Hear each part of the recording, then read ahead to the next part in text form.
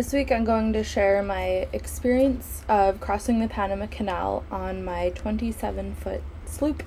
I'm single handing, which means that I had to get four extra people and somehow fit them on my boat, but luckily I found four great volunteers who were almost all sailors and used to sleeping in very cramped places, so we all managed to fit on. I didn't use an agent, so I did all my own legwork which included running around Colón with a bunch of cash. I managed to not pay to rent dock lines and fenders, but that was also sort of. I got my fenders the morning that I left for the canal and the dock lines the day before. And luckily, I had great advisors on my boat, really good weather. Everything went really smoothly, even though my boat doesn't make the minimum speed, which is five knots. I managed to make it through without incurring any penalties. And I also had some engine problems, but worked around those as well. So if you're wondering what it's like to cross the canal on a very little boat where lots of things are not as they should be, this is the video for you. And if you're not interested in that, you should watch this anyway because it's fun. So I finally got the clearance to take my boat through the canal at a slightly slower speed than normal. It's early in the morning I'm getting ready to get on the shuttle bus from Shelter Bay into Colón, where I'm going to pay the entire fee for the canal in cash, because that's how you have to do it. Colón is the most dangerous city in Panama, and I'm about to go through it with $1,800 cash by myself. It's gonna be great. So what I have done is I have a little money belt, and I'm gonna take the shuttle in to the grocery store go into the grocery store, take out the cash, put it in the money belt, and then get out and get in a taxi. Um, it'll be fun and fine, and hopefully I wake up a little bit more before I start. so since I got measured last year, um, I still have the old paperwork that they gave me. And I'm going to try to see if they will accept the old receipt because it's good until the 24th of February. Um, the deal is that this has taken so long to negotiate because my boat doesn't go five knots, which is the minimum speed to get through the canal, and I've been trying for the past three weeks to figure out, figure out how I can get through. They can charge you $300 an hour to get towed by a tugboat, and you don't have a choice. I really don't want to do that uh, they can also just turn you around and tell you that sorry you can't go through the canal. I will take your money thanks so I'm trying to do it the right way The deal is I can go through the canal at whatever speed I can manage and if I'm not able to maintain the speed I need and it fucks up their schedule, then they charge me $500. But if I somehow don't mess up their schedule, then I don't have to pay. And so today is payday, and then at 6:30 tonight, I call this phone number, and they give me a date for the canal. So it's Valentine's Day, and I'm getting a date. 要ばい、ちょ了と待って。みんな。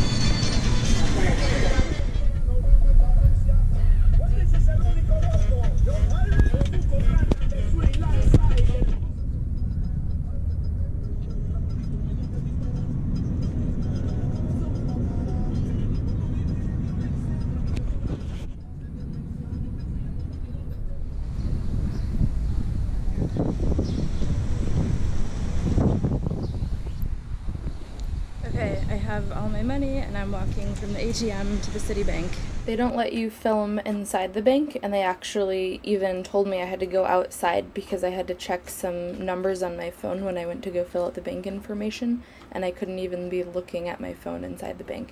But basically there's a window and you go up and you hand your stack of cash, it's like this big, through the window to the person and they put it all through a money counter and then gave me a form and the number to call later that night. So I called and I got a date a week after the calling date, so I had a week to get ready. So my next step was go grocery shopping because the big selling point that I had for the people crossing the canal with me was that there was going to be lots of beer and it was going to be cold. So I borrowed a cooler because I don't have a fridge. I'm at the grocery store. One of the requirements is that the advisor needs bottled water and you have to feed them plus all your line handlers. So that's two days worth of food for six people. So it was a pretty big run for me. Once I got everything back onto my boat, there was no space for anything. the next step after provisioning was to get all of my dock lines and fenders ready to go. To go through the canal, you need special dock lines that are, I think, 100 feet long each, and they have to be at least an inch in diameter. So there are these standard blue ones that every boat uses. To rent them, it was going to be about 80 bucks, and I'm cheap, so I didn't want to do that. I managed to borrow three from somebody. They didn't have four, but I decided to risk it anyway and put the three of them on my boat you have to tie a giant bowline in the end of each of the lines so that when you put them up to the end of the canal, they can loop them over the bollards. So I took uh, the one line I had forward and tied a bowline in either side and then draped both of those over the bow pulpit. To get the fenders, I remembered seeing a bunch of tires in an abandoned house by the marina. So I took a dock cart and one of my new crew and we went for a little foraging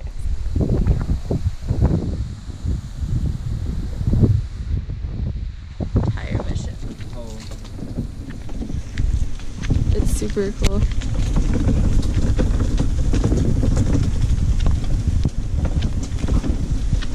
Jackpot!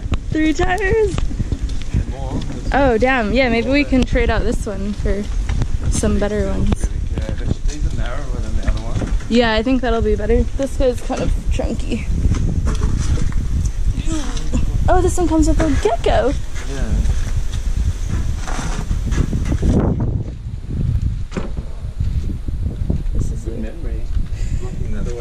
Is there a better one? Oh, they're already set up for you. Oh, yes! This is the best day ever! So someone just stashed their old tires here. This is awesome.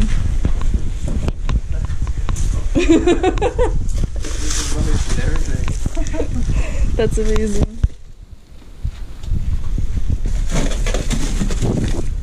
So the question is, more than four? Freaking out that you're not gonna have fenders. Yeah. It would be like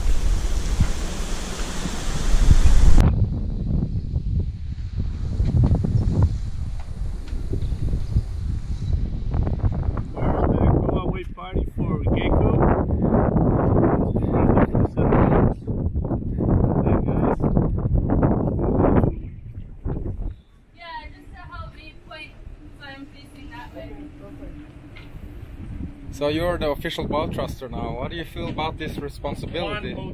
Yeah, it's a good one. One for all, all for one, right? Yeah. That's what. Yeah, just to help me point so I'm facing that way. So you're the official boat thruster now. What do you feel about this responsibility?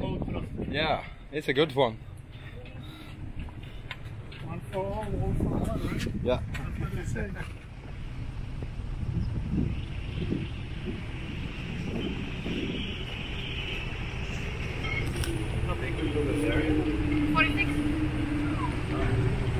they say. Now we can be naked. Sorry? Now we can be naked. Yeah, yeah, go for it. Yeah. okay, everyone moon Shelter Bay now. we're not, we're not lunch.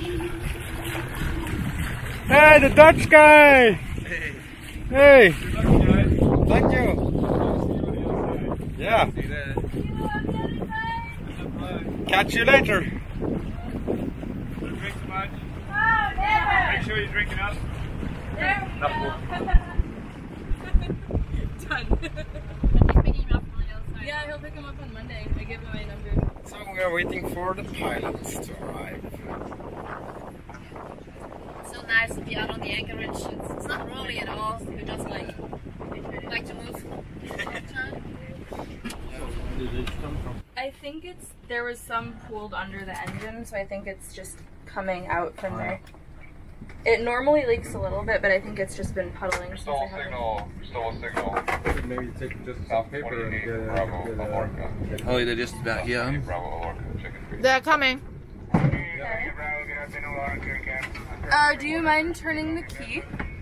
Or I'll... Okay. Sorry.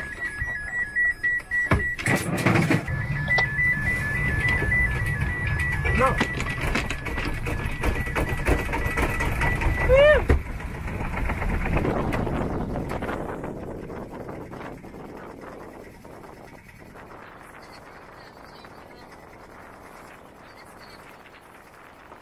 was really windy and wavy that day, and the pilot boat took a couple tries to be able to come alongside my boat without touching it and for the pilot to be able to hop down. I think seeing his expression in the video makes me realize that he probably was hating his life as soon as he saw my tiny boat. One of the reasons it was so hard for them to come alongside, not just because of the wind and the waves, but also because my freeboard is so low, that the deck of the pilot boat was higher than my stanchions even, and then the boat was so crammed full of people, dock lines, and beer that there wasn't really much deck space for him to jump onto. But the pilot driving the boat was awesome, and the advisor did a really good job. Eventually, once everything was lined up, he hopped on with no problem. I'm not making it on the boat. They're struggling to come on the boat. Now he's sitting down to try it again.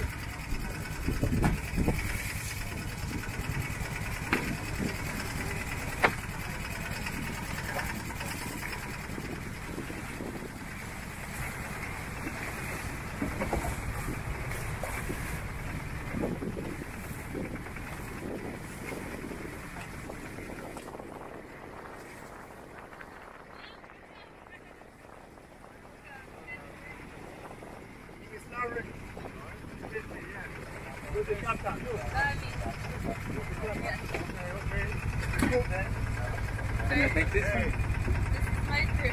Okay. One four lines? Four lines? Five people?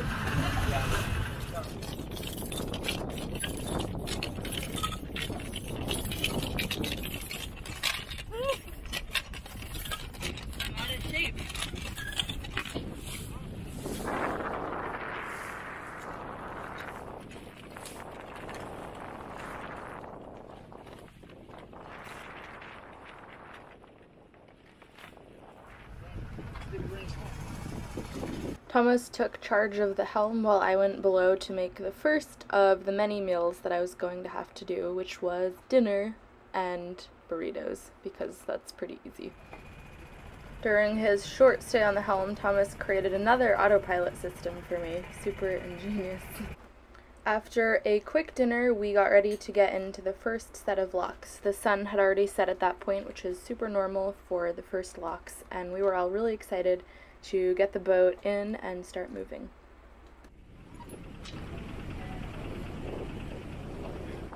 Buenas noches. It's pretty standard to raft boats together to get through the canal, so I was tied on the starboard side of a big boat that had one boat on either side of it, and they were the engine for the canal. I was just a little sidecar. Si tira una, tira, tira una allá y la otra tira aquí. Since my boat was about half the length of the other ones, we only did a stern line, and the bow line came from the boat in the middle. Evapora. Muy bien. Okay. This one is going. Yeah. There you go, Ollie. Make a pole line. Uh, Molly. Okay. We're somewhere around the tire.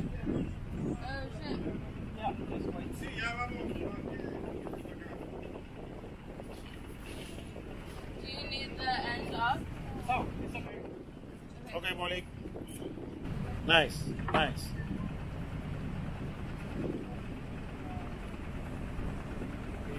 Now, while the center boat powered forward, the line handlers on the dock just walked along with our boats at the same speed with the thin heaving lines.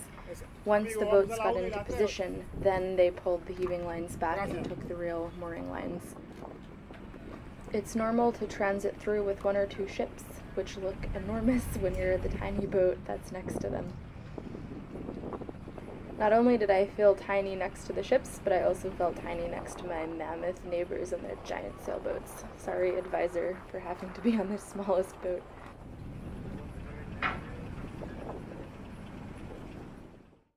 Once the boats got into position, we fed the big, thick mooring lines over to the bollards on the land and then made them off to our boats. Now we were tied in the center of the lock and ready for the water to start filling up. The job of the line handlers at this point is to make sure that there's always tension on the dock line. Not too much, but not too much slack, otherwise, the giant upwelling currents from underneath the locks can push the boats around. Since we were only doing one dock line on my boat and it was right by the tiller, I ended up also being the line handler, which was kind of cool. These doors close super slowly. This is way sped up. If you can look at the spazzy flag, you can tell. But finally, done with the Atlantic! One of the keys to having a really easy mellow trip is having a really easy mellow crew, and I super lucked out with everyone that I had on board. Such an important job. I'm supervising you. Yeah. I'm a professional supervisor already. You've done this five times, Fun, yeah. so you must love this. So much fun. I want to do it once a week now. It's always great food, free drinks. I would say if you do the um, canal crossing once a week, you will become an alcoholic.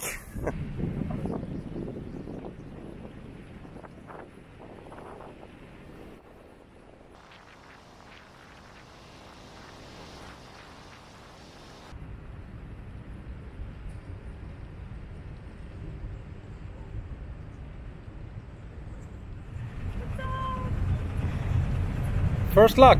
First luck, one of three.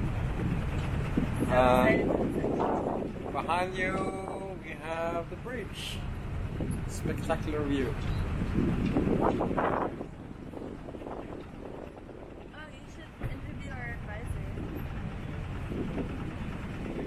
This is our advisor for the first day, the first set of locks into Gatun Lake. Hi, hi, hi. My name is Lawrence. I will oh, only, only Holly. try to find out and go uh, south side. Yeah, Carnival. Yes, she want to go carnival, so we, we hope she can make it tomorrow and then she can enjoy carnival on the sea. Yeah. I also hope that I make it tomorrow. yeah. awesome. By the way, I hope so too. we all hope we make it tomorrow. Uh, and how long have you been an advisor? Uh, I have two years experience doing this job, uh, enjoying um, doing, uh, meeting uh, other people's other culture and exchange my experience with them. Oh, going forward, bodies are, are great. So she's doing fine right now. Yeah, she's a badass sailor. I just hope my little boat gets me through tomorrow. Come on, what do you mean, little? It's not that little. It's just the boats next to it slightly bigger. Just a little bit. Oh, you having fun? You having fun? Yeah, right. Yeah, man. Relaxed.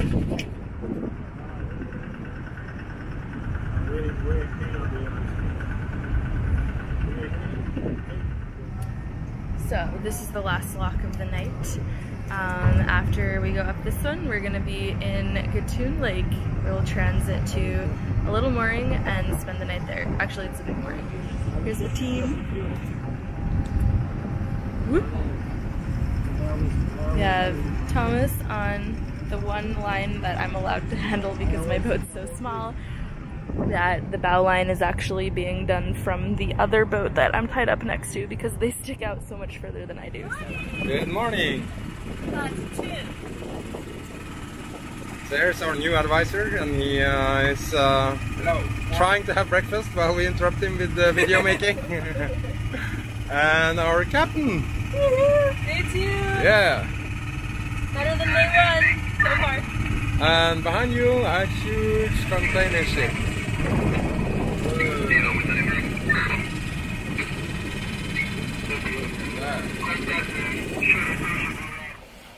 The start of the day was super peaceful, everyone was really chill, but the advisor wasn't happy with the speed that we were making, so we threw up a sail, kept the motor on. We were not sailing, we were motoring. Once the sail was up, life got a lot better. My boat started averaging around five and a half knots, which is half a knot faster than I have to go, so everyone was really happy. Sailing downwind makes so much sense when you have a sailboat and there's a ton of wind and you're trying to make a certain speed. Having a sail up doesn't affect your ability to steer, and having the engine on still allows you to have complete maneuverability. We were able to motor in this fashion through most of the canal, and it definitely saved me from getting fines for not going fast enough.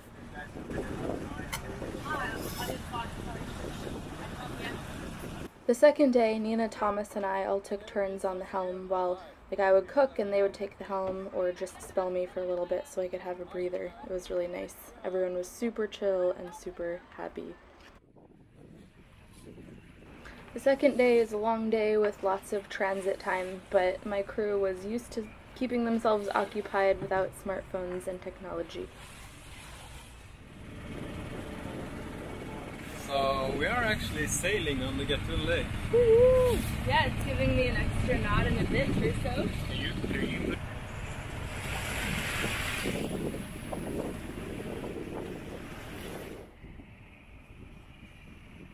I've never transited with the sunshade up before, but with so many people in the cockpit it was important, so I had to stick my head out above it so I could see anything, but it was fine. We actually ended up getting to the last set of locks a little bit early, so our advisor had us tie up against a sidewall and wait for the other boat that was transiting with us. Once they arrived, they docked in place next to my boat, and the two of us left as a clump.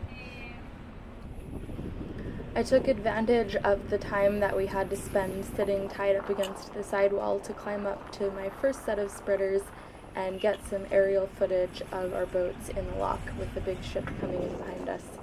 You know that your boat is small when you're tied up next to a bigger boat, but it's a whole different story when you can see the size difference from aloft. I'm really glad that I was able to go through with a bigger boat because I don't have enough cleats on my boat to be the middle guy anyway. And they have a more powerful engine to fight against the strong currents that you experience within the locks. The second day we were going downhill, so when we started in the locks, the water was super high. There were three to go through, and then finally we were in the last lock, opening up into the Great Pacific. Have to make. I've been waiting so long for this. So much better than I ever thought it would be. Mostly the relief of them letting me actually go through the Panama Canal. But we sailed fast. we sailed through almost the whole thing. Three out of four times. And fenders that I found in an abandoned house. Good. Good team. That team is. We'll miss her. Yeah, so. So now we're gonna send the little one out in the big blue ocean. Yeah, we all hope she will make it. Yeah. He will start the engine.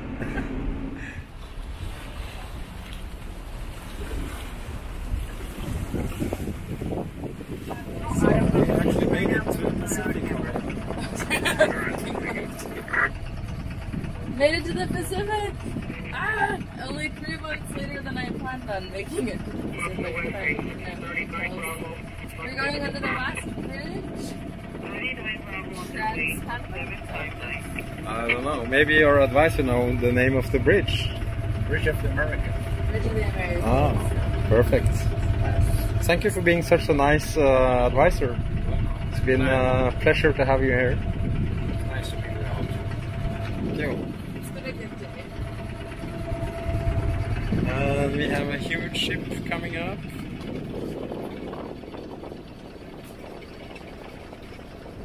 Yeah, Nice present. we are in the Pacific. With Holly woo, and waves. what are we waiting for? We are waiting for the boat and it is on pilot, Hey! There.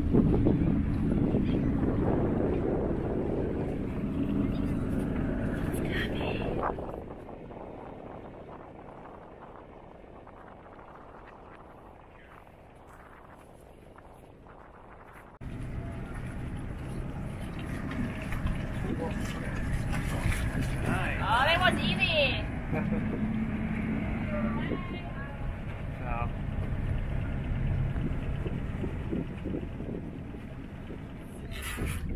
Holly is rowing us in to shore for the full Holly experience on this adventure.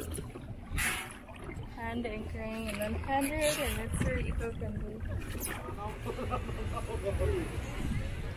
After I rowed my crew ashore, we walked through the park. Pacific side of Panama City is super different from the Atlantic side. I took them all out to eat at a hamburger and beer restaurant. Even though everyone got along really well, it was nice to get off the boat because it was so incredibly crowded and to have some food that I didn't cook.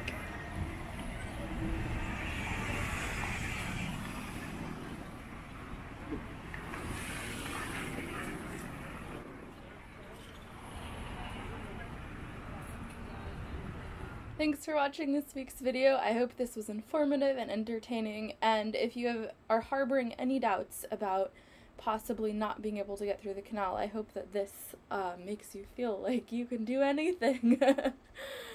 Currently, I'm at sea sailing from Panama to the Marquesas, and I have absolutely no communications, so I've pre uploaded all of these videos from Panama while I still had a connection, and my lovely sister in law Tish is putting them online every two weeks for you guys. She's also going to put the coordinates of where I am currently at the time that this video is uploaded onto the video. Um, I won't be able to respond to any comments because I don't have any communications while I'm at sea. So if you do comment and I don't get back to you, that's why. Sorry about that. Thank you so much, Tish, for uploading these videos for me and making it possible for me to continue doing this even though I'm at sea. I also have an Instagram account. If you want to know exactly when I get to the Marquesas and make that first Insta post, you should follow along. It's at Boat Lizard. And thank you so much to all of my patrons who are making this possible for me. If you would like to become a patron and help me, um, I, my Patreon is patreon.com slash windhippie, and I'm also putting a link in the description. Thank you guys for all of your lovely comments. I'm so sorry that I can't respond to them, but I promise that as soon as I get into French Polynesia, I'll try to go through the backlog of all the videos that were posted while I was at sea and get back to you guys, as many of you as possible anyway. So, think of me while I'm out there. Wish for wind because looking at the forecast now, a couple days before I leave, there isn't much of it out there, but I hope that I get more and I hope this video was informative and fun, and I will see you guys in another two weeks with another full-length video. Alright, peace out!